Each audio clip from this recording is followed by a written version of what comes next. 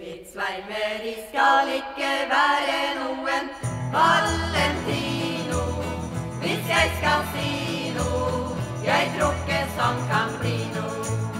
Men en som holder meg i hånd på kino, passer mer for meg. Mitt sveimeri skal ikke være noen filmens semann.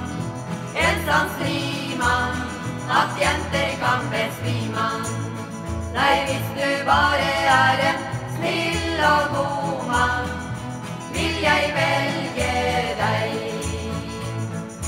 Husk at du trenger ikke penger, villa eller bil.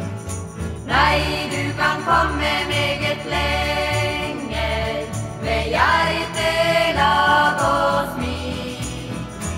Mitt vi skal ikke være av ditt late høye og fin i tøyet,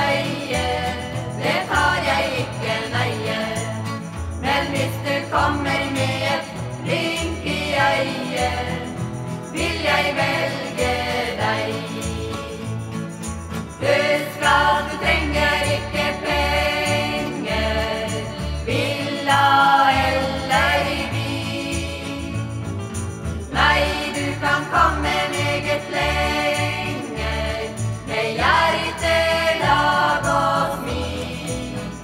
Sveimeri skal ikke være av ditt flotte høye og fine tøye. Det tar jeg ikke nøye. Men hvis